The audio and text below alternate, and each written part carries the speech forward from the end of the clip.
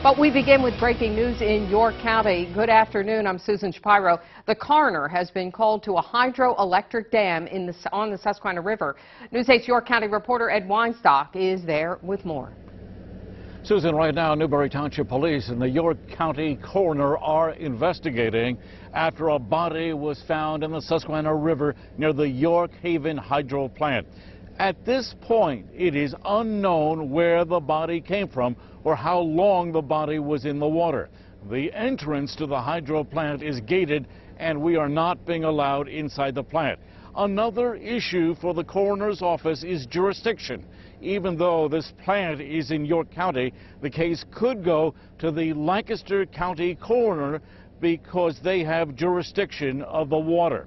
Once again, a body has been found in the Susquehanna River near the York Haven hydro plant turbines. That's the story from York County. Back to you.